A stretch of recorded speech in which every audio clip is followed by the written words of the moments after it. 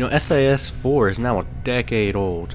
Ten whole years without a single mention of a sequel had left the hardcore fan base feeling pretty abandoned and forgotten, and all truly seemed lost.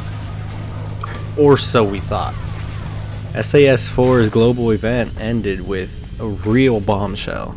As Ninja Kiwi shared a video showing us not only the tragic end of SAS 4's story, but they also revealed the official lore to the long awaited sequel named Zombie Assault Resurgence. That's a it's a pretty good name. But isn't it missing something?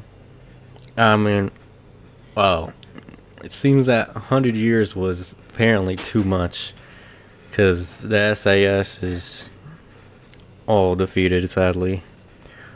Leaving only mercenaries, apparently, left to protect the remaining survivors that fled the Thrace system, apparently.